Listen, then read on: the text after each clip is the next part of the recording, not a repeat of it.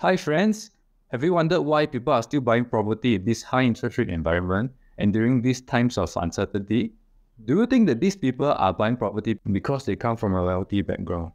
What if I told you that out of 10%, 7 of them are just like us?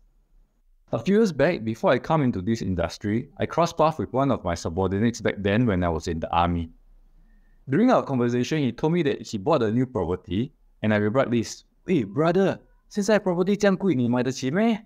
你一定是做得很好咯。Guess what he responded? 就是没有钱才要买嘛。Back then, I couldn't fathom what he meant, and I just laughed it off. I only recently realized what he meant. If you think about it, property is supposed to be an asset, means it grows over time. So if you think of your property as a piggy bank, and the action of you paying the mortgage into the property is like putting coins into the piggy bank, then it all makes sense. The reason why people are afraid to buy property is because of their mindset. They think of buying property as an investment, and when you have this thought, naturally you relate to risk. Is it too risky? What if this investment fails? But what if you change your mindset of buying a property as a saving plan? For example, have you ever relate endowment plan with risk, even though there's certain risk when it comes to buying an endowment plan? This is because when we buy a saving plan, the mentality is to save rather than to gamble and earn from it. So now if let's say you purchase a property that costs you $1 million and for whatever reasons, it doesn't appreciate. From an investment angle, you have wasted your time, but from a saving angle, you have saved $1 million, which means to say that your net worth now is 1 million.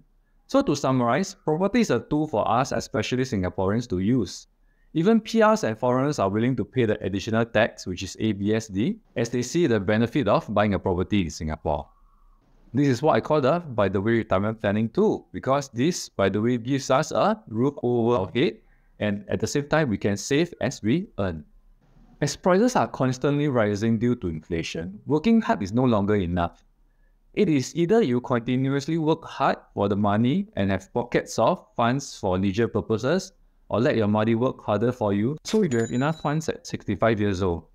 This provides you with options. Having options in life are important because it allows flexibility in life. For example, having enough funds to retire at 65 years old, you can now choose to continue to work hard or work leisurely while going for occasional trips while you are still able to.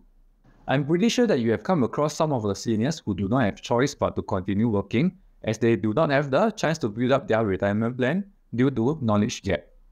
If you given a second chance to turn back time, I'm pretty sure things will be different. In my previous video, I briefly spoke about why people are using property as a investment plan or saving plan. So if you are interested to watch, do click the link above to watch the video. I have come to the end of my video. I have explained two things in this video. Firstly, from which angle you should have when it comes to buying property. And secondly, the importance of retirement planning through net worth building. If you enjoyed the video and wishes to find out more about property or retirement planning, do drop me a DM or contact me via my social media. Help to like, share and subscribe if you haven't done so. I will see you in the next video.